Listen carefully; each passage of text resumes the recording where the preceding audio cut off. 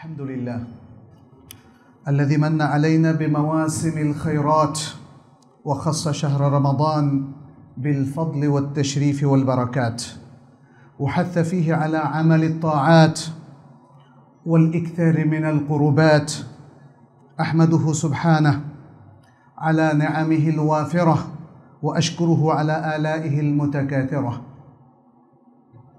وأشهد أن لا إله إلا الله وحده لا شريك له وأشهد أن نبينا محمدا عبده ورسوله. أفضل من صلى وقام وأشرف من تهجد وصام. صلى الله وسلم وبارك عليه وعلى آله وصحبه البررة الكرام والتابعين ومن تبعهم بإحسان ما تعاقب النور والظلام. أما بعد فيا أيها الإخوة المسلمون اتقوا الله تبارك وتعالى واشكروه على ما هيأ لكم من المناسبات العظيمة ومواسم العبادات التي تسقل الإيمان في القلوب وتحرك المشاعر الفياضة في النفوس فتزيد في الطاعات وتضيق مجالات الشر في المجتمعات وتعطي المسلمين دروسا في الوحدة والإخاء والتضامن والصفاء والبر والصله والهناء والطهر والخير والنقاء والصبر والشجاعه والاباء نسال الله سبحانه ان يتقبل منا صالح الاعمال ويوفقنا واياكم لجميع العبادات وللقيام بجميع الاعمال الصالحه في شهر رمضان المبارك বন্ধুগণ রমাদান মাস আমাদের মধ্যে চলে এসেছে। কয়েকদিন আমরা অতিক্রমও করেছি। শাহরুল মুবারক হিসাবে এই মাসকে নবী সাল্লাহ সাল্লাম অভিহিত করেছেন। আল্লাহ তালা যতগুলো মাওয়াসেম আল ইবাদা এবাদাত এবং মাওয়াসিমুল খায়রাত দান করেছেন, তার মধ্যে রমাদান একটা শ্রেষ্ঠ মাস, শ্রেষ্ঠ উপলক্ষ, শ্রেষ্ঠ মুনাসাবা সুতরাং এই মুনাসাবাটাকে আমাদের ভালো করে জানতে হবে, বুঝতে হবে এবং সেই উপলক্ষের মধ্যে আল্লাহ যে বারাকা দিয়েছেন, যতগুলো উপহার দিয়েছেন, সবগুলো এখান থেকে আসলে আমাদের নিয়ে নেওয়াটাই হবে বিচক্ষণ মুসলিমের লক্ষণ এবং কাজ। রমাদান আমাদের কাছে এসেছে আমাদের অন্তরগুলোকে পরিশুদ্ধ করার জন্যে ইমানকে নবায়ন করার জন্য এখলাসটাকে পুনর্গঠন এবং রিপেয়ার করার জন্যে, আর তাকুয়ায় আমাদেরকে ভরপুর করে দেওয়ার জন্যে। এই জন্যে রমাদানকে আমরা পাই জামেউন লেকুল খৈরিন ওসালাহ সব কল্যাণ এবং সব বারাকা, সব সংশোধন রামাদানের প্রোগ্রামের মধ্যে আছে। এবং রামাদান হচ্ছে মাদ্রাসাতুন লিল হেলমি ওয়াসাবর সহিষ্ণুতা এবং ধৈর্যের একটা চমৎকার মাদ্রাসা, একটা বিদ্যালয়। রমাদান হচ্ছে মানারাতুন লিল লিল ইমানে ও তাকুয়া। মানারাতুন লিল ইমান ও তাকুয়া ইমান এবং তাকুয়ার মিনার অথবা আমরা বলতে পারি মাদ্রাসাতুন লিল ইমান ও তাকুয়া রমাদান হচ্ছে হেসনাম মিনাল ফিটান ও জামিয়া আল মাআসি। যে কোনো ফেতনা এবং যে কোনো পাপ, এ থেকে আত্মরক্ষামূলক যে দুর্গ রমাদান হচ্ছে আমাদের জন্য সেরকমই একটি অত্যন্ত শক্তিশালী দুর্গ। রমাদান হচ্ছে গেদা উল্লিল আরওয়াহ। আমরা আমাদের শরীরকে খাওয়াই কিন্তু রুহেরও খাদ্য আছে। রমাদান এই সকল প্রোগ্রামের মধ্য দিয়ে আমাদের রুহের গেদায়ের ব্যবস্থা করে থাকে। এবং রমাদান এমন একটা চমৎকার উপলক্ষ, যার মাধ্যমে আমরা আমাদের যে শাহওয়াত, যে প্রবৃত্তি, যে খারাপ আকাঙ্ক্ষা, এ সব কিছুর আমরা নিরোধ করতে পারি, সব কিছুকে আমরা স্টপ করে দিতে পারি। শুধু তাই নয়, রমাদান আমাদের হিম্মা আলিয়া, বড় হিম্মত এবং ইমানিক সাহসিকতার জন্য একটা চমৎকার, এটা একটা ডোজ আমরা বলতে পারি, অথবা একটা প্রোগ্রাম যার মধ্য দিয়ে এতদিন যে আমরা আসলে একটা ছোট্ট মানে একটা অধপদের মধ্যে আমরা পড়ে গিয়েছি, আমাদের যে মনোবলটা ছিল, সেটা যে ভেঙে গিয়েছিল, রমাদানের মাধ্যমে সেই মনোবলকে আবারও চাঙ্গা করার সুযোগ এসেছে আমাদের কাছে, আলহামদুলিল্লাহ। তাহলে রমাদান হচ্ছে আমাদের যাবতীয় আমরাদ এবং মাআসি বা পাপ থেকে রক্ষা করার একটা উপশম, একটা চমৎকার পদ্ধতি এবং রমাদান আরেক দিক থেকে দেখলে এটা তা আলুফুল উম্মা উম্মার মধ্যে যে বিভেদ ছিল, সে বিভেদ থেকে উম্মাকে মুক্ত করে ঐক্যবদ্ধ হওয়ার একটা চমৎকার প্রেরণা, চমৎকার প্রোগ্রাম এবং চমৎকার পদ্ধতি। আর রমাদান পরিশেষে আমাদের সে সকল মুসলিমদের জন্য একটা চমৎকার স্কোপ এবং ফোর্সা যারা ইতিমধ্যে বহু পাপে নিমজ্জিত হয়ে গেছে। দুর্নীতিতে আকণ্ঠ তারা পড়ে গিয়েছে। আজকে তারা উঠতে পারছে না। রামাদান তাদের জন্য সে ফোর্সাটা ওপেন করে দিয়েছে। তার নানা কর্মসূচির মাধ্যমে, সিয়ামের মাধ্যমে, কেরাতুল কোরআনের মাধ্যমে, কিয়ামুল লাইলের মাধ্যমে, শেষ রাতে আল্লাহর কাছে কান্নাকাটি করার মাধ্যমে, সেগুলো নিয়ে আজকে আমরা এখানে কথা বলব ইনশাআল্লাহ। আজকে উম্মার যে অবস্থা তাতে আমরা দেখছি যে এই মাসটা নিয়ে আমাদের যতটা জ্ঞান অর্জন করা দরকার ছিল, সেটা কিন্তু আমরা করতে পারিনি। কারণ রামাদানের এবং সিয়ামের বেশ কিছু আছে, হেকাম। হেকাম অর্থাৎ এর বেশ কিছু হিকমত আছে উইজডম আছে, উপলক্ষ আছে, লক্ষ্যমাত্র নির্ধারণ করে দেওয়া আছে, যেটা আল্লাহ তালা করে দিয়েছেন। সেটা আমরা কতটা জানি। রামাদানের ফাদাইলগুলো কতটুকু আমাদের জানা আছে? এবং রমাদান ভিত্তিক ইবাদত এবং কর্মসূচি পালনের যে আলমানহাজ সালিম বিশুদ্ধ ম্যাথোডলজি যেটা রাসুল সাল্লাহ সাল্লাম আমাদেরকে দিয়েছেন, সেটা আমরা কতটা অবলম্বন করতে পারছি?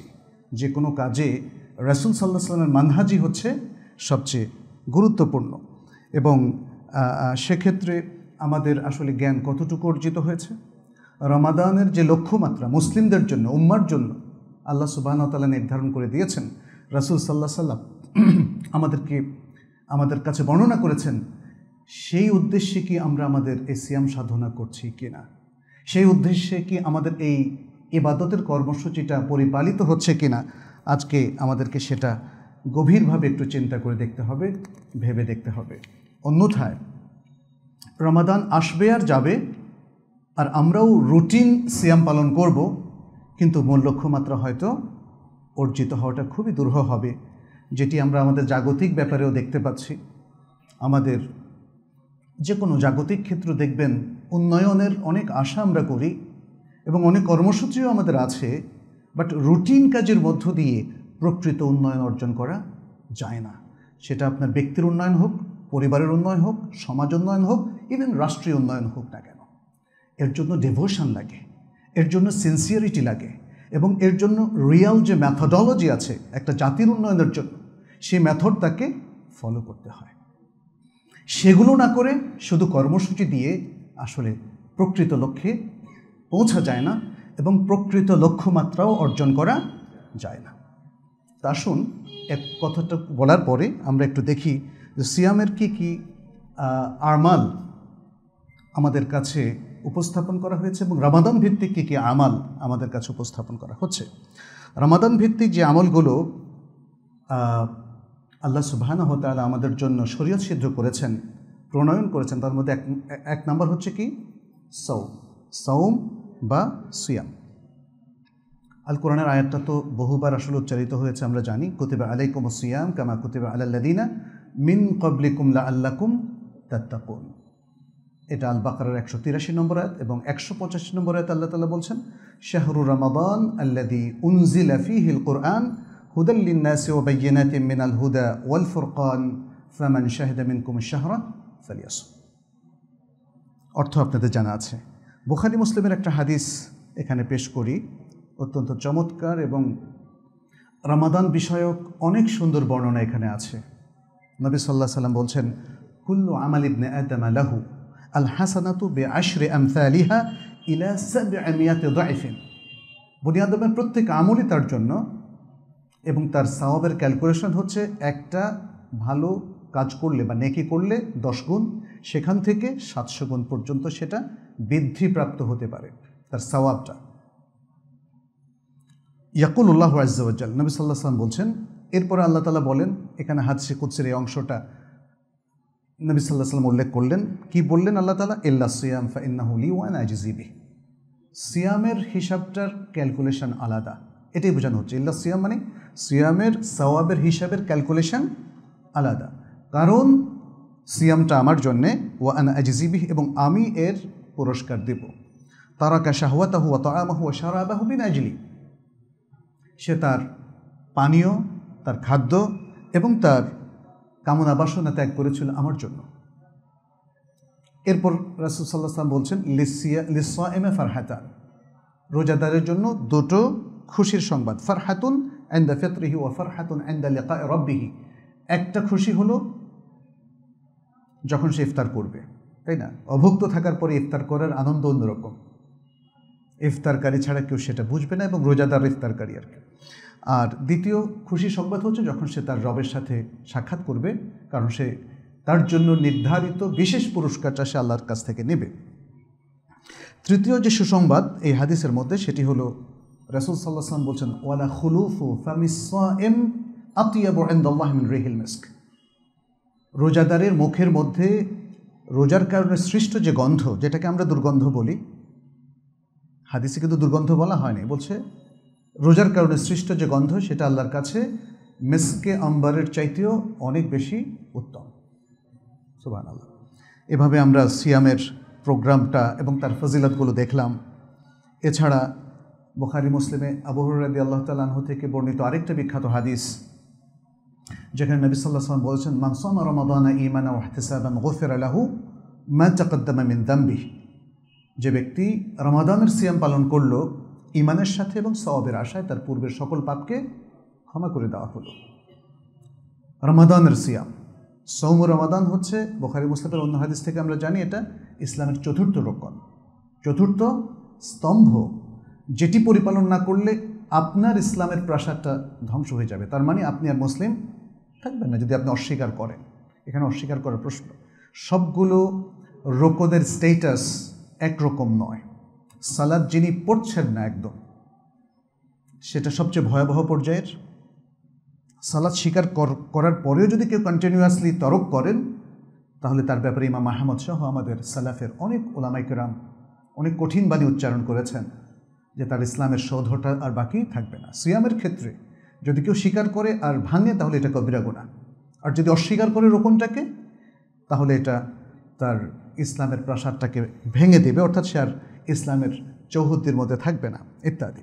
এখানে নবী সাল্লাহ সাল্লাম বলেছেন ইমান ঠিক করে এবং এখলাসটাকে বজায় রেখে সিয়ামটা রাখতে হবে। মানসাম রমাদানা ইমানান ওয়াহতেসাবান।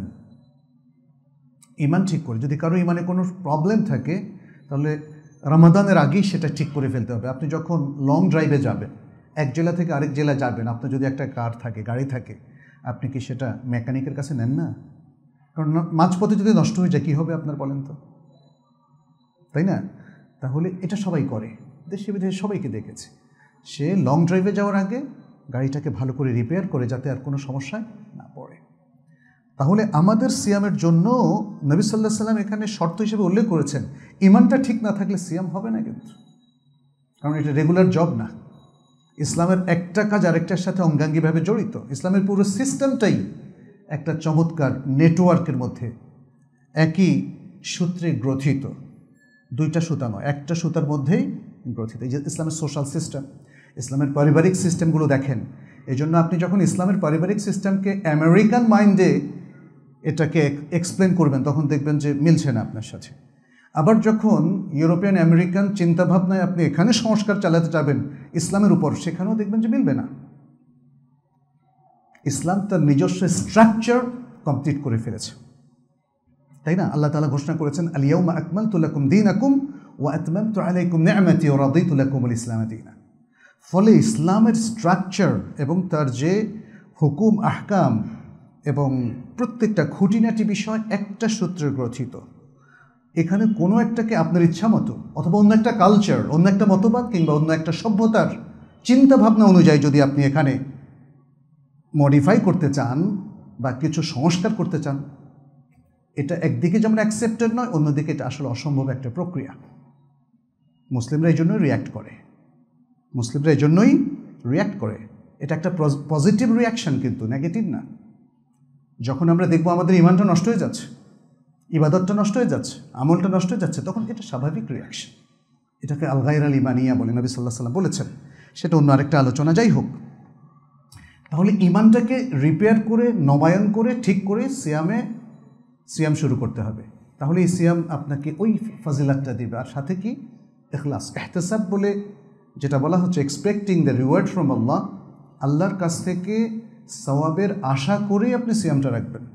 তাহলে সিয়াম রাখার পেছনে আপনার পৃথিবীর অন্য কোনো উদ্দেশ্য কাজ করবে না। এই দুটো শর্ত যদি পরিপূরণ করা হয়, তাহলে এই সিয়ামটা আপনার জন্য বিশেষ ইফেক্টিভ একটা রোল প্লে করবে। সেটা কি? আপনার সকল পাপকে এটা মিটিয়ে দেবে।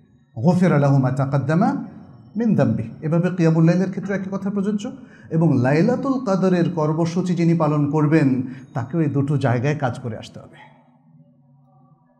আমাদের অনেক মানুষ সেটা জানে না। ভাবে যে আজকে লাইলাতুল কাদর, ইবাদত করো, সব মাফ করে নাও। আপনার মাফ হবে না তো। আপনার মাফ হবে না। If you have you don't have full ইমান আপনি যদি পরিপূর্ণ ইমানের অধিকারী এবং ফুল ইমানটাকে যদি আপনি হোল্ড না করেন, তাহলে আপনার মাফ হবে না। এটাই রাসুলসাল্লাম মিন করেছেন। সেটা যদি বুঝতে আমাদের ভুল হয়, সেটা আমাদের ত্রুটি। শরিয়ার পক্ষ থেকে ঘোষণায় কোনো ত্রুটি নাই। ঠিক একইভাবে এখলাস এখলাস। এখলাসটা আমাদের সবচেয়ে বড় সম্পদ। এই জায়গাটাই আমাদের উম্মার অধিকাংশ মানুষের প্রবলেম এখলাস। সবাই দাবিও করছে, আমার সিনসিয়ারিটি আছে, নিষ্ঠা আছে। আসলে আদৌ আছে কি না আপনার অন্য কাজগুলোকে পর্যালোচনা করলে বোঝা যাবে, বা সেটার দায়িত্ব আল্লাহর। আল্লাহ মানুষের অন্তর খবর জানেন, আলিমুন বেদাতে সুদূর। এই জন্য এটা নিয়ে আমরা অন্যদেরকে দুষবো না আক্রমণও করব না। বাট এটা আমাদের জানতে হবে যে যদি আপনার নিয়ত শুদ্ধ না থাকে আর যদি আপনি আল্লাহর জন্য ইবাদত না করেন, তাহলে আপনার কোনো কর্মসূচি আল্লাহর কাছে কবুল হবে না। আর যদি কবুল না হয়, আপনার যদি সিয়ামটা কবুল না হয়, কিয়ামুল লাইলটা যদি আল্লাহ অ্যাকসেপ্ট না করেন, তাহলে কি গফিরুল আহমদ তাকাদ্দামে মিন্দাম বিহির এই ফজিলাতটা পাবেন? পাবেন না। এটা আমাদেরকে খুবই সতর্কতার সাথে মনে রাখতে হবে। আর আরেকটা বিষয় সব ঠিক আছে আমাদের। ইবাদতও ঠিক আছে ইমানও ঠিক আছে, এখলাসও ঠিক আছে। কিন্তু সম সৌম সার্থকভাবে পরিপালনের জন্য আরেকটা দিক আমাদেরকে মেনটেন করতে হবে। সেটা কি? সেটা হচ্ছে আমরা যেন যে কোনো মিথ্যা কথা, মিথ্যা কাজ বা মিথ্যার পক্ষের, বাতিলের পক্ষের যে সকল কাজকে আমরা যেন বর্জন করি। সেটা বুখারির হাদিসে এসেছে নবী সাল্লাহ সাল্লাম বলেছেন মান্লাম ইয়াদা কাউলা জুর ওয়াল আমালা বিহি ফালাইসা লিল্লাহি হাজাতুন ফি আইয়াদা তাআমাহু ওয়া শারাবাহ। যে ব্যক্তি মিথ্যা কথা, মিথ্যা কাজকে পরিত্যাগ করল না, তাহলে আল্লাহর কাছে তার পানাহার ত্যাগের কোনো প্রয়োজন নেই। সৌমকে বলা হয়েছে আসৌম জুন্না এটা ঢাল। এটা ঢাল। বখারি মুসলিমের হাদিসে এসছে ফাইদা কানা ইয়ৌমু সৌমে আহাদিকুম ফেলা ইয়ারফাত ওলা ইয়াফসুক।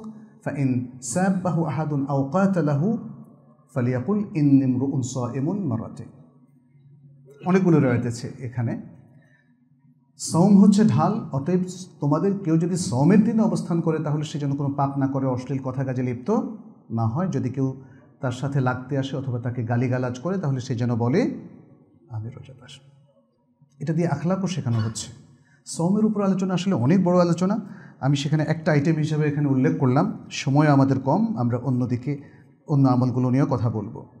সুতরাং, প্রিয় ভাইরা বন্ধুগণ, সিয়াম যখন রাখবেন, তখন শুধুমাত্র উপবাস ব্রত পালনের মাধ্যমে সিয়াম রাখাটা যথেষ্ট নয়। আপনার কানের সিয়াম রয়েছে, চোখের সিয়াম রয়েছে, হাতের এবং শরীরের অন্যান্য অঙ্গ প্রত্যঙ্গেরও সিয়াম রয়েছে। অর্থাৎ সেগুলোকে সকল ধরনের পাপ থেকে মুক্ত রাখতে হবে। তাহলেই আপনার আমার সিয়ামটা সার্থক হবে। আসুন সেভাবে আমরা সিয়াম পালন করি। দ্বিতীয় যে গুরুত্বপূর্ণ আমল রমাদান মাসের সাথে সম্পৃক্ত, সেটা হচ্ছে কেয়ামুল্লাইল কেয়ামুল্লাইল আল কোরআন আল্লাহ সুবান তাল্লাহ কেয়ামুল্লাইলের অনেক প্রশংসা করেছেন এবং এবাদুর রহমানের বৈশিষ্ট্য হিসাবে তিনি এটাকে উল্লেখ করেছেন। আল ফরকানের তেষট্টি এবং চৌষট্টি নম্বর আয়তে আল্লাহ তালা বলছেন, ওয়া ইবাদুর রহমান।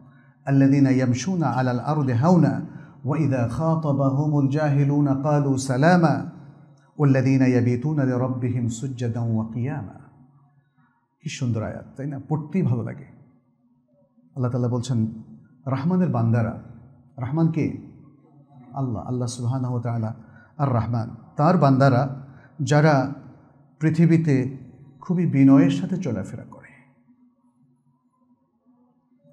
এবং যখন তাদেরকে জাহেল লোকেরা অ্যাড্রেস করে, সম্বোধন করে, তখন তারা বলে সালাম। সালাম সালাম ইটসেলফ একটা চমৎকার শব্দ। শান্তি শান্তি। তাই না? সালাম এর শব শাব্দিক অর্থ হলো শান্তি। আমি অশান্তি চাই না। কারণ জাহের লোকরা আসলে কী জন্য আসে বলেন তো? জাহের লোকরা উল্টাপাল্টা প্রোগ্রাম নিয়ে আসে। মারামারি করার জন্য আসে। হানাহানির প্রোগ্রাম আমাদের মধ্যে কিছু একটা বিভেদ লাগিয়ে দেওয়ার প্রোগ্রাম নিয়ে জাহের লোকরা আসে। জ্ঞানীগুণীরা সেটা নিয়ে আসে না। জ্ঞানী জ্ঞানীগুণীরা সবসময় কনস্ট্রাকটিভ রোল প্লে করার জন্য আসে। গঠনমূলক রোল প্লে করার জন্য আসে। জ্ঞান সবসময়ই, পৃথিবীর সবাইকে দেখেন যে যার অবস্থানে, যে যার ধর্মে থাকলেও সে সবসময় দেখবেন কনস্ট্রাকটিভ রোল প্লে করতে চায়। কিন্তু জানার ক্ষেত্রে যার যতটুকু ত্রুটি, তার রোলের ক্ষেত্রে ততটুকু ত্রুটি হয়। একজন মুসলিম সত্যিকারের জ্ঞানের অধিকারী, জ্ঞানের সাধক যদি হয়ে থাকে তাহলে সে পৃথিবীতে সবচেয়ে বেশি কনস্ট্রাকটিভ রোল প্লে করতে পারে। অন্য ধর্মের লোকেরাও পারে, কিন্তু তার বিভিন্ন জায়গায় সীমাবদ্ধতা আছে। জ্ঞানের ক্ষেত্রে যেহেতু সে আল্লাহ সুবাহান হুয়া তালার ওহির নির্ভেজাল অনুসারী নয়। যাই হোক, এখানে তাহলে আল্লাহর বান্দারা তাদেরকে যখন জাহেল লোকরা সম্বোধন করে, তখন তারা বলে সালাম। অর্থাৎ আপনার সাথে আর কোনো বাক বিতণ্ডায় আমি লিপ্ত হব না, কোনো কথা কাটাকাটি করব না, আপনার সাথে এতটুকু পর্যন্ত, সালাম, বাস মানে শেষ। আর কোনো, আপনার সাথে কোনো ইন্টারাকশন হবে না। এরপরে বলা হচ্ছে ওল্লাদিন বিতুন আল রব্বিহিম সুজ্জাদাও ওয়াকিয়ামা যারা তাদের রবের উদ্দেশ্যে, দেখেন, সব জায়গায় এখলাসের কিছু কথা থাকেই লে রব্বিহিম দ্বারা এখলাসের কথা বোঝানো হচ্ছে। কী জন্য রাত জাগন করে? আল্লাহর বান্দারা কী জন্য রাত্র জাগে? লে রব্বিহিম, তাদের রবের উদ্দেশ্যে। কিয়ামান, সুজ্জাদাও ওয়া কিয়ামা, সেজদারত অবস্থায় এবং দাঁড়িয়ে, অর্থাৎ সালাতরত অবস্থায়। নবী সাল্লাহ আলিয়াল্লামের অভ্যাস ছিল রাত জেগে কিয়ামুল্লেল আদায় করা এবং রমাদানে তার স্পেশাল কোর্স ছিল এই জন্যে এসব কিছু আমরা আয়সারাদি আল্লাহ তাল্লাহ থেকে জানি। যেমন তিনি বলছেন, লা তাদা কিয়ামাল্লাই তোমরা রাতের সালাদকে ত্যাগ করো না। ফাইন্না রসুল আল্লাহ সাল্লাহ সাল্লাম লাইয়া দাউহু ওয়াকানা ইদা মারেদা আউ কাসালা সাল্লাকা ইদান কারণ রসুল সাল্লাহ সাল্লাম রাতের সালাদ সালাদকে তরক করতেন না। তবে তিনি যখন অসুস্থ হতেন অথবা কখনো অলসতা বোধ করতেন, তখন তিনি শুধুমাত্র রাতের সালাদটাকে স্কিপ করতেন। অন্যথায় তিনি সবসময় কিয়ামুল্লাইল আদায় করতেন। এছাড়া আমরা আশারাদি আল্লাহ তাল্লাহ থেকে আরও কয়েকটা হাদিস জানি যে নবী সাল্লাহ সাল্লাম রমাদান মাসে ইবাদতে ততটা যতটা পরিশ্রম করতেন, সেটা অন্য মাসে করতেন না। এবং রমাদানের শেষ দশকে তিনি অন্য দশকগুলোর চাইতে অনেক বেশি পরিশ্রম করতেন। কিসে? ইবাদতের ক্ষেত্রে। ইয়াজতাহিদু রাসুল সাল্লাহ সাল্লাম ফিল আশরিল আওয়াখর মালা ইয়াজতাহিদু ফি গাইরি সুতরাং এতেও বোঝা যায় যে রমাদান মাসে ইবাদতের এই গুরুত্বটা কতটুকু বেশি। অমর আব্দুল খাত্তাব রাদি আল্লাহ তালানহু তার থেকে বর্ণিত আছে যে তিনি রাতে যত ইচ্ছা সালাদ পড়তেন। ইউসল্লি মা শাহ রাকাত সংখ্যার কথা বলা হয় না ইউসল্লি মা শাহ এটা সাহাবাই কেরামের অনেকের কাছ থেকে এসেছে। রমাদান গের রমাদান। আয়সরাদি আল্লাহ তালানা রাসুল সাল্লাহ সাল্লামের ক্ষেত্রে বলেছেন, রমাদান গের রমাদান তিনি এগারো রাকাতের বেশি পড়েননি। কিন্তু আয়সা রদিয়াল্লাহ তোর এই হাদিস সাহাবারা জানতেন না, ব্যাপারটা তা নয়, তারা জানতেন। নবী সাল্লাহ সাল্লামের আরও হাদিস আছে। রাতের সালাদকে দুরাকাত দুরাকাত করে বলেছেন। এভাবে শেষ মানে প্রভাতের আগ পর্যন্ত পড়ার পারমিশন তিনি দিয়েছেন। আরেকটা হাদিস আছে, তিনি বলেছেন, ইমাম যতক্ষণ কন্টিনিউ করে, ততক্ষণ কন্টিনিউ করার অধিকার মুক্তাদিদের আছে।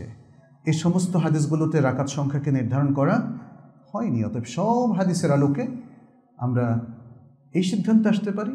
যদি কেউ রাসুল সাল্লাহ সাল্লামের কোয়ান্টিটি এবং কোয়ালিটি দুটোকে মেনটেন করে, সেটা বেস্ট সেটা বেস্ট কিন্তু আপনি শুধু কোয়ান্টিটি মেনটেন করবেন কোয়ালিটি না, তাহলে তো হবে না। কোয়ান্টিটি কোয়ালিটি দুটোই, তাই না? শুধু নামকা ওয়াস্তে এগারো রাকাত পড়া, এর চাইতে কোয়ালিটি কোয়ান্টিটি তবে আমাদের সহি মানহাজের সকল উলামেকেরাম সীমা মাহমদ ইবনা হাম্বল থেকে আরম্ভ করে, বা তারও আগের ইমাম যারা আছেন, মহাদ্দিসিন একরাম ইমাম ইবনু চাইমিয়া ইবনুল কাইম ইবনু কাথির ইবনু হাজার আসকালানি সবাই। তারা রাকাত সংখ্যা বৃদ্ধির ব্যাপারে শরীয়তের অনুমোদন আছে, এই ব্যাপারে একমত। এগারো রাকাতের উপরে রাকাত সংখ্যা বাড়ানোর ব্যাপারে কারও কোনো দ্বিধা নাই। কতটুকু? সেটা নিয়ে হয়তো কিছু ইখতলাফ আছে। কখনো সেটা বিশ রাকাত, কখনো সেটা ছত্রিশ রাকাত, উনচল্লিশ রাকাত, তেতাল্লিশ, ইমাম ইবনে তাইমিয়া তেষট্টি রাকাত পর্যন্তও বলেছেন। তার মানে হচ্ছে একটা জায়গায় এটাকে অজুবান সীমাবদ্ধ করা, যেই করুক না কেন, সেটা কারোর ক্ষেত্রে শুদ্ধ হবে না।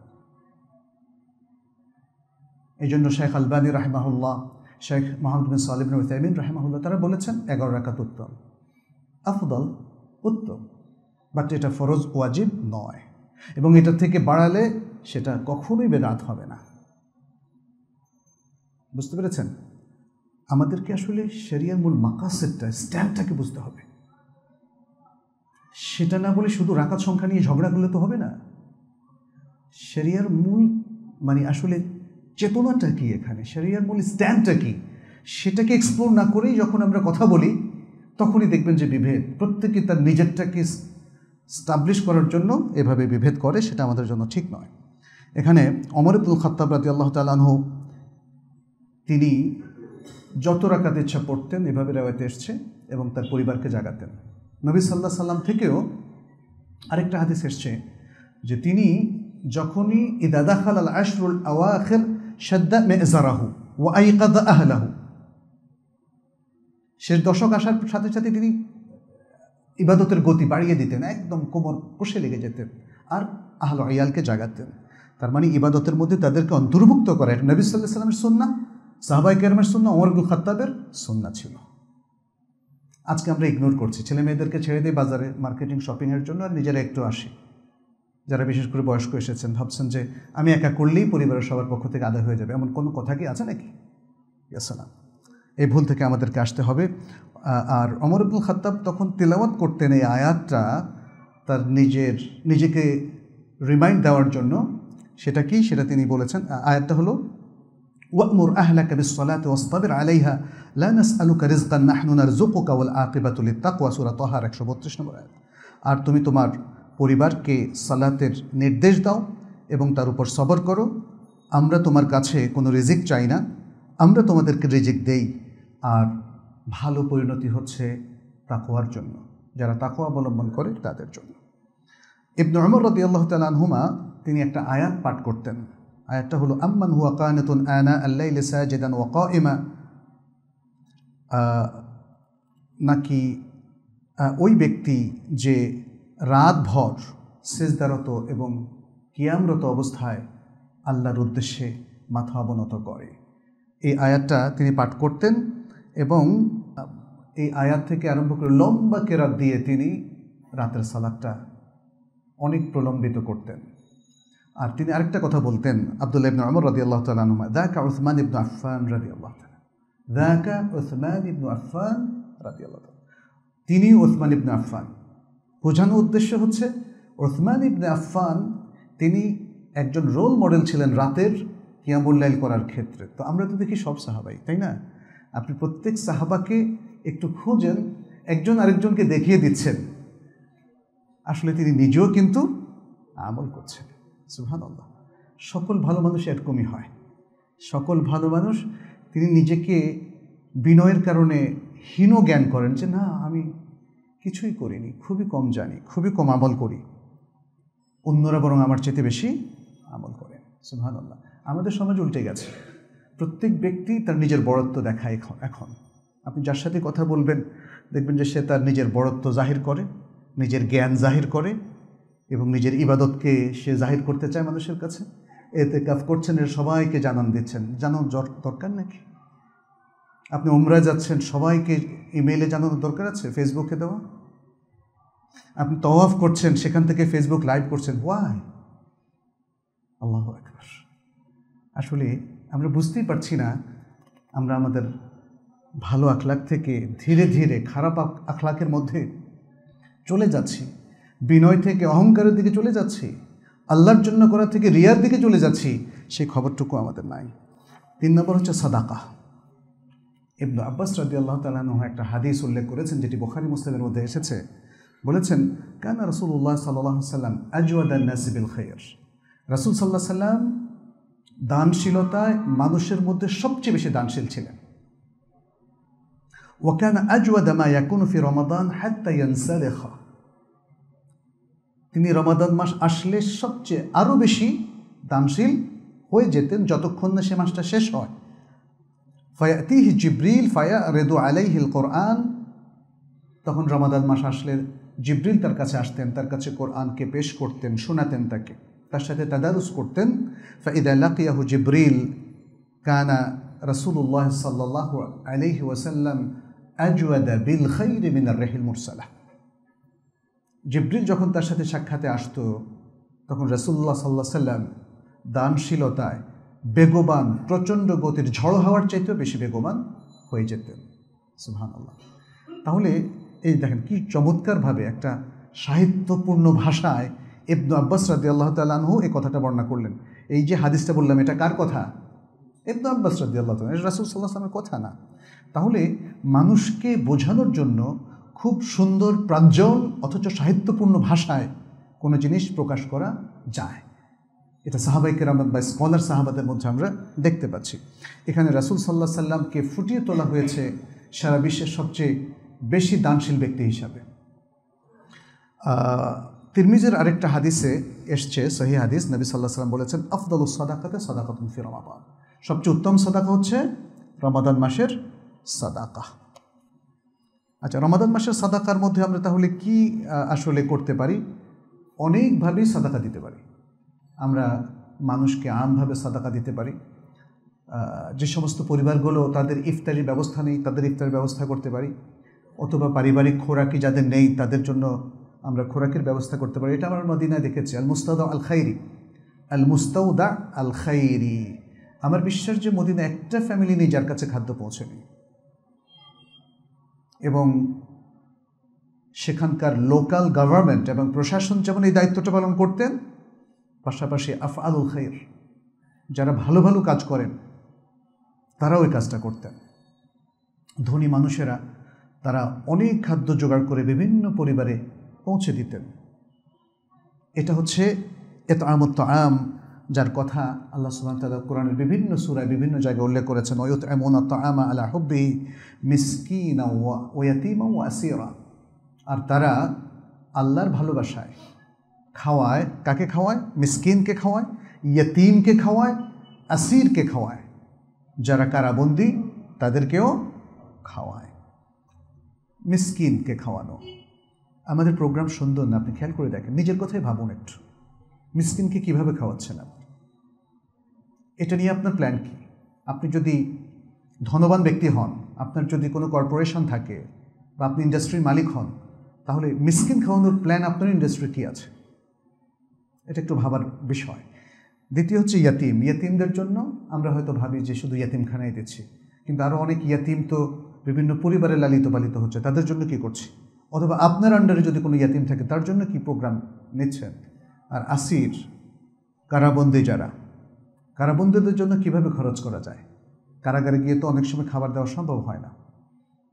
তাহলে অনেক কারাবন্দি মানুষ আছে যাদের পরিবার তিনি কারাবন্দি থাকার কারণে খুবই দিনহীনভাবে জীবনযাপন করছেন এবং পৃথিবীর বিভিন্ন দেশের অবস্থান আমরা জানি, অনেক আলেমোলামাও থাকেন কারার অভ্যন্তরে।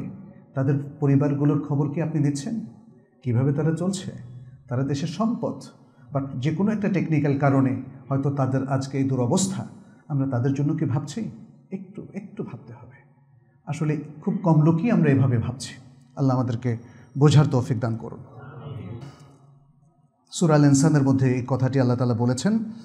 আর আরেকটি হাদিস ইমাম তিরমিজি বর্ণনা করেছেন। সনদ হাসান সনদে নবী সাল্লাহ সাল্লাম বলেছেন, আইয়ুমা মুকমেনিন মুকমেনান আলা জু ইন আত আমাহুল্লাহ মিন তিমারিল জান্না ওয়ামান সাকা মুকমেনান আলা ওয়ামা ইন সাকাহুল্লাহ মিন রাহিকুল মাকতুব যে কোনো মমিন যদি অন্য কোনো মমিনকে আহার্য যোগান দেয়, খাবার খাওয়ায়, তার খিদার অবস্থায়, তাহলে আল্লাহ তালা তাকে জান্নাতের ফল ফলাদি থেকে খাওয়াবেন। আর কোনো মোমেন যদি অন্য মোমেনকে তৃষ্ণার্ত অবস্থায় পানীয় পান করায় বা পানি পান করায়, পানি পানীয় একই হুকুম।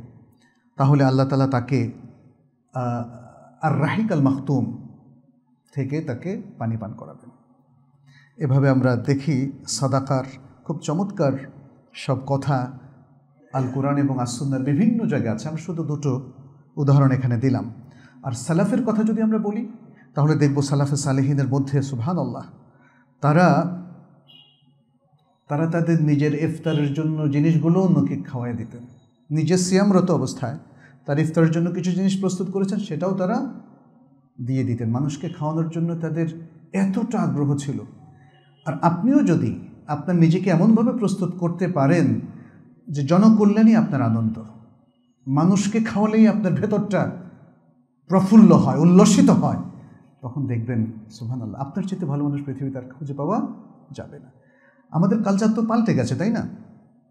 মানুষের হাত থেকে, মুখ থেকে আহার কেড়ে নেওয়া, মানুষের ভিটে মাটি কেড়ে নেওয়া, এই কালচারটাই আসলে আমাদের সমাজে প্রতিষ্ঠিত হয়ে গেছে।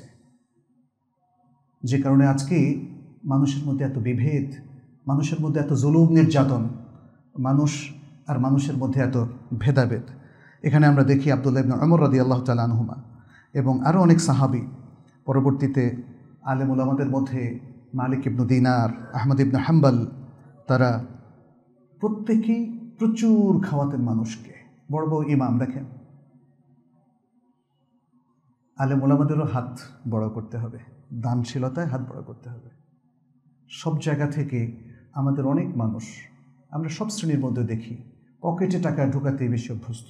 পকেট থেকে বের করতে বেশি অভ্যস্ত নয়। কিন্তু আমাদের সালাফ, কি স্কলার, কি প্রশাসনিক কর্মকর্তা কি ব্যবসায়ী, আপনি দেখেন সালাফের মধ্যে হাজার হাজার মানুষ পাবেন যারা এভাবে দানশীল দানশীল ছিলেন।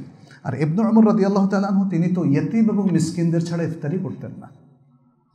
আবদুল্লা ইবন আমর রদি আল্লাহ তালাহুমা যার ব্যাপারে আমরা সবাই জানি, রাসুল সাল্লাহ সাল্লামের সুন্নাকে অনুসরণ করার ব্যাপারে সবচেয়ে বেশি সিরিয়াস ছিলেন। সবচেয়ে বেশি সিরিয়াস ছিলেন মক্কা থেকে মদিনা যাওয়ার পথে, মদিনা থেকে মক্কায় যাওয়ার পথে তিনি সবসময় এমনকি রাসুল সাল্লাহ সাল্লাম যেই গাছটার নিচে দাঁড়িয়ে ছায়া নিতেন অথবা যেখানে একটু দাঁড়িয়ে বিশ্রাম নিতেন, তার নিজের প্রয়োজন না থাকা সত্ত্বেও তিনি সেভাবে সে আমলটা করতেন। কেন? নিজেকে তিনি একটা তারবিয়ত দিয়েছিলেন, প্রশিক্ষণ দিয়েছিলেন যে প্রত্যেকটা কাজে রসুল সাল্লাহ সাল্লামকে অনুসরণ করার তার বিয়ত এবং শিক্ষা গ্রহণ করো, মানসিক মাইন্ডসেট করো। কারণ আজকে কথায় কথায় রসুল সাল্লাহ সাল্লামের সুন্নাকে ভায়োলেট করার একটা অভ্যাস গড়ে উঠেছে উঠেছে না? এমনকি সালাতের মতো গুরুত্বপূর্ণ জায়গাতে। কিংবা কোনো একটা দিবসে রসুল সাল্লাহ সাল্লাম আমল কী ছিল? সে সমস্ত জায়গা পর্যন্ত তিনি কি করেছেন, না করেছেন সেটাকে আমরা ইগনোর করছি। সেটাকে আমরা উপেক্ষা করছি। শরিয়াতের বহু জায়গায় রসুল সাল্লাহ সাল্লামের আদর্শকে ধরিসাত করে আমরা সে জায়গায় নিজে অনেক কিছু প্রণয়ন করছি। হচ্ছে না এরকম? ইন্নালিল্লাহ তাহলে বুঝুন যে আবদুল্লাহ ইবনুল আমর রাদি আল্লাহ তালুমা যে কাজটা করেছেন, সেটা তার অত্যন্ত প্রয়োজন আছে। সন্ন্যার উপর নিজেকে অভ্যস্ত করা। এমনকি সেটা যদি ফরজ ওয়াজিব নাও হয়। ঠিক এই নীতিটাই পালন করেছেন আবদুল্লাহ ইবনুল আমর রাদি আল্লাহ তালুমা তিনিও ইয়াতিম মিসকিনদের সাথে তিনি ইফতার করতেন, সিয়াম রেখে ইফতার করতেন। সালাফের মধ্যে আমরা আরও দেখি তারা তাদের ভাই বেড়াদার আত্মীয় স্বজনকে খাওয়াতেন। তাদের জন্য ইফতার পাঠাতেন এবং তাদের খেদমত করতেন। তাদেরকে নানা ধরনের সুযোগ সুবিধা দিতেন। এর মধ্যে যারা করতেন, দেখেন আল হাসান প্রখ্যাত মহাদেশ সেকা এবদুল মুবারক, প্রখ্যাত সব মহাদেশ মানে তখনকার আলেমদেরকে আমরা দেখেছি কি পরিমাণ বিনয়ী, সমাজ হিতৈষী, সমাজ ওয়েলফেয়ারে তাদের যে বিশাল অবদান মানে এ কথা বলার সুযোগ নাই যে উনি জ্ঞান চর্চা করতে করতে সমাজকে ভুলে গিয়েছেন। জ্ঞান চর্চা করতে করতে মানুষের অভাব অভিযোগের প্রতি তাদের কোনো দৃষ্টি ছিল না, আসলে ছিল। জ্ঞানের মূল উদ্দেশ্য তো হচ্ছে মানুষের কল্যাণ করা। এবং পুরো ইসলামটাও এসেছে। ইসলামের সবচেয়ে বড় মাকাসিদ হচ্ছে জলবু মাসালহিনাস জলবু মাসালহিনাস পৃথিবীর সকল মানুষের তাবৎ মানব গোষ্ঠীর কল্যাণ নিয়ে আসা এবং নিশ্চিত করা। ওদারবু মাফাসেদিনাস এবং মানুষের যত মাফসাদা এবং ক্ষতি আছে, সেগুলোকে রিমুভ করা, সেগুলোকে দূর করা, এটাই হচ্ছে ইসলামের সবচেয়ে বড় গুরুত্বপূর্ণ মাকাসেদ এবং এই উদ্দেশ্যটাকে সাধন করার জন্য ইসলামের সকল ইবাদত এবং মামালাতের প্রোগ্রামকে সেট করা হয়েছে।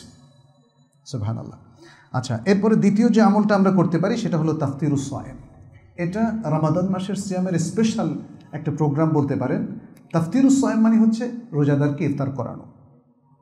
রোজাদারকে ইফতার করানোর যে সহি হাদিসটা এসছে, সেখানে নবী সাল্লাহ সাল্লাম বলেছেন, মান ফাত্তারা সোয়া এমান ক্যান আল্লাহ মেতলু আজরিহি গায়ের আন্নাহু লাইয়ান কুসুমিন আজরি সোয়া এমে সেই যে ব্যক্তি কোনো রোজাদারকে ইফতার করায়, তাহলে সেই রোজাদারের যে পরিমাণ সওয়াব, তার জন্য সে পরিমাণ স্বভাব হবে, তবে রোজাদারের সওয়াবে কোনো কমতি হবে না। এ হাদিসটা ইমাম আহমদ, নাসাই, তিরমিজি সহ আরও অনেকে বর্ণনা করেছেন এবং শেখ আলবানি শুদ্ধ বলেছেন। আর আরও অনেকগুলো হাদিস আছে, আমি সেটা স্কিপ করি। চতুর্থ যে আমলটা, সেটা হলো কেরাতুল কোরআন। রমাদান মাসকে বলা হয় শাহরুল কোরআন। শাহরুর রমাদান, শাহরুল কোরআন শাহরুর রমাদান আল্লাদি ফিহিল কোরআন। সুতরাং কোরআনের জন্য স্পেশাল সেশন আপনাকে, আমাকে অবশ্যই রাখতে হবে। রমাদান মাসে এতগুলো এই বললাম জামেউল ইবাদাত ও জামেউ আল খায়রাত এই মাসটা। এবং কোরআনের মধ্যে সকল ইবাদত এবং সকাল সকাল খায়রাতের বর্ণনা কিন্তু কোরআনের মধ্যে আছে। অতএব রমাদান মাসে যে ইবাদতগুলো করব, তার মূল ম্যানুয়ালটা হচ্ছে আল কোরআন রমাদান মাসে ইবাদতের সকল ইবাদতের ম্যানুয়ালটা হচ্ছে আল কোরআন তাহলে রমাদান মাসকে আল্লাহ তালা নিজে রিলেট করে দিয়েছেন কোরআনের সাথে বা কোরআনকে রিলেট করে দিয়েছেন রমাদানের সাথে। এটা এমনি এমনি না। এটার বিশেষ উদ্দেশ্য আছে। সুতরাং এই জন্যই আমরা সালাফকে দেখি, তারা মানে এক্সক্লুসিভলি তারা রমাদান মাসে কোরআন কেন্দ্রিক হয়ে গেছেন কোরআন সেন্ট্রিক হয়ে গেছে।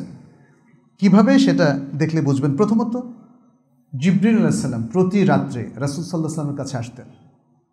তাদের আলোচনার বিষয়টা কী ছিল? দার্সের বিষয়টা কী ছিল? আল কোরআন কানা ইয়াতাদার আসল কোরআন। মা রাসুলিল্লাহি সাল্লাহ আলাইসাল্লাম কোরআনটাকে তারা পুরো একজন শুনতেন, আরেকজন শোনাতেন। জিব্রাহ আলাইসাল্লাম নবী সাল্লাহ সাল্লামকে শোনাতেন, আবার নবী সাল্লাহ সাল্লাম জিব্রাহ আলাইসাল্লামকে শোনাতেন। এই শোনার মধ্যে তারা বুঝতেন কিনা? কোরআন তারা বুঝতেন কিনা? হ্যাঁ তারা বুঝতেন, কারণ তারা তো আহলুল ছিলেন। জিব্রাহ আলাইসাল্লাম তিনি কোন ভাষায় কোরআন নিয়ে এসছেন? আরবি ভাষায়। ফলে জিব্রিলও বুঝতেন, নবী সাল্লাহ সাল্লাম বুঝতেন। এখন প্রশ্ন হচ্ছে, আমরা যারা বুঝি না, তাদের কি ব্যাপার? তাদের কি না বুঝলে চলবে? না বুঝলে চলবে কি না আমাদের কোরআন? চলবে না। আপনি ভাষার মাধ্যমে হলেও কোরআন বুঝে নিতে হবে। আর সবচেয়ে বড় কথা হচ্ছে, আরবিটাকে ইগনোর করছি কেন আমরা? আরবি শিখছি না কেন? আপনি এখন আমাদের পাবলিক ইউনিভার্সিটিগুলো যায় দেখেন ফ্রেঞ্চ ল্যাঙ্গুয়েজ শেখানো হচ্ছে ইংলিশ তো অনেক আগ থেকেই আছে। চাইনিজ ল্যাঙ্গুয়েজ শেখানো হচ্ছে, আছে না বাংলাদেশে অনেকগুলো জাপানিজ ল্যাঙ্গুয়েজ শেখানো হচ্ছে কোরিয়ান ল্যাঙ্গুয়েজ শেখানো হচ্ছে। এগুলো আপনি খুব সহজে শিখে ফেলছেন। কোরআনকে শিখছেন না কেন? ওগুলো শেখার জন্য কি আল্লাহ তালা বলেছেন আমাদেরকে? বলেন কিন্তু কোরআন শেখার জন্য বলছেন না? বলছেন। কোরআন শেখার জন্য যদি আরবি ভাষা শিখতে হয়, শিখবেন। আর আরবি ভাষা শেখা ছাড়া আসলে কোরআন ভালো করে বোঝা যায় না। শুধু অনুবাদ দিয়ে কোরআন বোঝা যায় না, তারপরেও যারা কোরআন এখনও বা আরবি ভাষা এখনও রপ্ত করতে পারেননি, তারা অনুবাদও পড়বেন। আমরা নিষেধ করছি না, অনুবাদ পড়াটা জায়েজ না না জায়েজ? জায়েজ। সেটা পড়বেন। কিন্তু কোরআন সেন্ট্রিক হয়ে বা হওয়ার জন্য আপনাকে অ্যারাবিকও শিখতে হবে। এখানে দেখেন জিবর আল্লাহ সাল্লাম ছাড়াও আমরা দেখি সাহাবাই কেরামের মধ্যে এমন সাহাবা ছিলেন যারা তিন দিনে খতম করতেন, যারা সাত দিনে খতম করতেন, যারা দশ দিনে খতম করতেন এমনকি এমন রেওয়ায়তও আছে ওসমান ইবনে আফফান রাদি আল্লাহ তালাহু সম্পর্কে যে তিনি একদিনেও খতম করতেন? শাফি রাদি আল্লাহ তালাহু সম্পর্কে আরও বেশি। একদিনে এক খতমেরও বেশি কোরআন তেলাওয়াতের বর্ণনা আছে। আচ্ছা এখন অনেকে হয়তো বলবেন যে আচ্ছা সেটা ইবন রজবের কথার বলার আগে আমি আরেকটা বলি। ইমাম জহুরি, সুফিয়ানা তাউরি জগৎ বিখ্যাত দুজন মহাদ্দেশ। একদম প্রথম সারির। সেই আতবা উত্তাবেইন সেই সারির তারা দুজন। জহুরি সম্পর্কে বলা হচ্ছে যখন তিনি রমাদান মাস আসতো, সকল দার্সে হাদিসের সব কিছু গটিয়ে মুহাদ্দিস বললাম একটু আগে, সব গটিয়ে তিনি কোরআন কোরআনমুখী হয়ে যেতেন।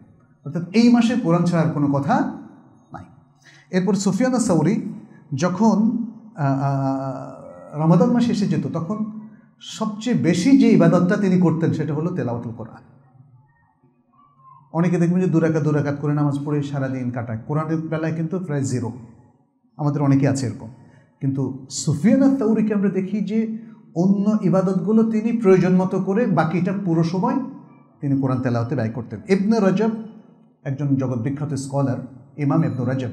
তিনি বলেছেন ইন্নামা ওয়ারাদা নাহিউ আন কিরাআতিল কুরআন ফি আকাল্লি মিন ثلاث على المداومة على ذلك فأما في الأوقات المفضلة كشهر رمضان خصوصا الليالي التي يطلب, يطلب فيها ليلة القدر أو في الأماكن المفضلة كمكة لمن دخلها من غير أهلها فيستحب الإكثار فيها من تلاوة القرآن اغتناما لفضيلة الزمن والمكان তিনি বললেন যে তিন দিনের কমে রসুল সাল্লাহ সাল্লাম থেকে কিছু নির্দেশনা এসেছে যে তিন দিনের কমে যেন খতম করা না হয়। সেটা কেন? সেটা হচ্ছে একটা স্বাভাবিক অবস্থার কথা যে একজন ব্যক্তি স্বাভাবিক অবস্থায় তাড়াহুড়ো করবে না। সে তিন দিনের কমে যদি কোরআন খতম করাকে অভ্যাস করে ফেলে, তাহলে সবসময় তো তাড়াহুড়ো থাকবে। কোরআনের মূল মর্মর চাইতে শব্দ উচ্চারণটাই তার মূল ফোকাস থাকতে পারে, অতএব সেটা না করে আমাদেরকে করতে হবে কি? আমাদেরকে তিন দিন বা তার অধিক সময় যতটুকু লাগে ততটুকু লাগাতে হবে। তিনি বলছেন, এটা হচ্ছে স্বাভাবিক অবস্থার কথা। কিন্তু যদি এমন হয় যে বিশেষ ফজিলতের সময় অথবা বিশেষ ফজিলতের মাকান, বিশেষ ফজিলতের সময় যেমন রমাদান মাস, আর বিশেষ ফজিলতের মাকান যেমন মাক্কা, এই জায়গাগুলোতে অথবা এই সময়গুলোতে আপনি এর চাইতে অল্প সময় করতে পারেন। কেন? যাতে এই সময়টা তো আপনার জীবনে বারবার আসবে না। অ্যাভেলেবল না। ফলে সেই সময় আপনি কোরআন বেশি খতম, তিন দিনের রকম খতম করতে পারবেন, যে জন্য আমরা সালাফের মধ্যে অন্তত যারা যাদেরকে আমরা মানি, যাদেরকে অনুসরণ করি, তাদেরকেও দেখি যে তিন দিনের কমেও তারা খতম করেছেন। তাহলে এভাবেই সমন্বয় করতে হবে। আমরা যদি বলি তারা শরীয়ত লঙ্ঘন করেছেন ব্যাপারটা, আসলে সেটা নয়। আচ্ছা আর তেলাওয়াতের সময় কান্নাকাটির কথা আমরা দেখি যে সাহাবাই কেরামের মধ্যে এসেছে। বাইহাকে আবহরাদি আল্লাহ তাল্লাহু থেকে বর্ণনা করেন যে যখন একটা আয়াত নাজিল হলো আসাবিন হায়াত আল হাদিতে তাজাবুন? তোমরা কি এই কথায় আশ্চর্যবোধ করছ? ও তা তদ হাকুন ওলা কুন তোমরা হাসছো, কাঁদছো না? যখন এই আয়াতটা নাজিল হলো, বাকা আহলো সোফা তখন আহলে সোফা সকলেই কান্না শুরু করে দিলেন, এমনকি তাদের গাল বেয়ে অশ্রুর ধারা প্রবাহিত হতে থাকল। যখন নবী সাল্লাহ সাল্লাম তিনি এই কথাটা শুনলেন তিনিও তাদের সাথে কাঁদলেন। তখন সাহাবাই কেরাম বললেন আবহরা বললেন ফাবা কি নাবে বোকা এহ তখন নবী সাল্লাহ সাল্লামের কান্নার সাথে আমাদেরও কান্না চলে আসলো, আমরাও কাঁদলাম। ফকাল রসুল্লাহ সাল্লাহ সাল্লাম রসুল সাল্লাহ সাল্লাম বললেন লাই আলী জুন্না রুমান বাকা মিন খাসিয়াতিল্লাহ সেই ব্যক্তির কখনো জাহান নামে যাবে না। যে ব্যক্তি আল্লাহর ভয় কাঁদে, যে ব্যক্তি আল্লাহর ভয় কাঁদে, সে কখনো জাহান নামে যাবে না। রমাদানের আরেকটা আমল হচ্ছে এতেকাফ। রমাদানের আরেকটা আমল হচ্ছে রমদান মাসে অমরা করা। এতেকাফ নিয়ে আজকে আমরা কথা বলব না, যেহেতু এতেকাফের জন্য ভিত্তিক যে সময়, সেটা শেষ দশক, তার আগেই যিনি খোদবা দিবেন, তিনি হয়তো এতেকাফ সম্পর্কিত বেশ কিছু নিয়ম কানুন বর্ণনা করবেন ইনশাল্লাহ রমাদান মাসে যিনি ওমরা করবেন সে ব্যাপারে আমরা জানি বখারি, মুসলিমের যে হাদিস অমরাতুন ফি রমাদান তাইদুল হাজ্জাতান। রমাদান মাসে একটা অমরা করা, এটা একটা হজের পরিমাণ, সওয়াব সুবাহান আল্লাহ সেভাবে আমরা করতে পারি। এরপরে আরেকটা আমল হচ্ছে তাহারি লাইলাতুল কাদার। লাইলাতুল কাদারকে খোঁজা, সেটাও শেষ দশকে, সেটা নিয়েও আমরা পরে কথা বলব ইনশাল্লাহ আর এখন থেকে আরও একটা যে কাজ চলমান থাকা উচিত, শুধু রমাদান নয়, সারা বছরই কিন্তু রমাদানে অধিক হারে, সেটি হলো আলেকতার মিনা দিক্রি ও দোয়ায় ওল ইস্তেকফার বেশি বেশি আদকার পড়া, দোয়া করা, যেহেতু রমাদান ফদিলাতুল আজমেনা ফদিলাতুল জামান, অর্থাৎ ফজিলতযুক্ত সময়। ফলে এই সময়ে আমরা বেশি বেশি চেষ্টা করব দোয়া করতে, আল্লাহকে স্মরণ করতে, সার্বক্ষণিক আল্লাহ স্মরণে থাকা, নিজেদেরকে নিয়োজিত রাখা এবং আল্লাহর কাছে তওবা করা এবং ইস্তেকফার করা। আমরা তওবা করার কথা শারবান মাসে বলেছিলাম। রমাদানের প্রস্তুতি স্বরূপ তওবা করে নিজেকে পাপমুক্ত করে নেবেন। কিন্তু তার মানে এই নয় যে এখন আর তবা করার প্রয়োজন নেই। এখন কি ভুল হয় না আমাদের? অবশ্যই ভুল হয়। আমাদের সিয়ামের মধ্যে ত্রুটি হয় যে জন্য ঈদ উল ফিতরের আগে, সালাতের আগে আমাদের ফিতরের ব্যবস্থা করা হয়েছে, তাই না? জাকাতুল ফিতর, যাতে করে আমরা যে সমস্ত ভুলগুলি করি, সেগুলো থেকে আমাদের সিয়ামকে পবিত্র রাখা যায়।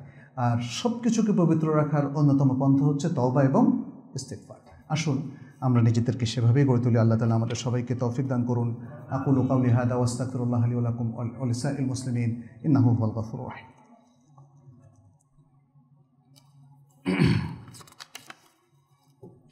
الحمد لله على منه وكرمه والصلاة والسلام على رسوله الهدى آه، وعلى آله وأصحابه أجمعين أما بعد أيها الأخوة أوصيكم ونفسي بتقوى الله عز وجل فإن شهر رمضان شهر التقوى فاتقوا الله في هذا الشهر خاصة وكونوا عباد الله المتقين في جميع السنوات نسأل الله سبحانه وتعالى أن يوفقنا وإياكم لما يحبه ويرضى ويجعلنا من عباده المؤمنين المتقين المخلصين إنه ولي ذلك والقادر عليه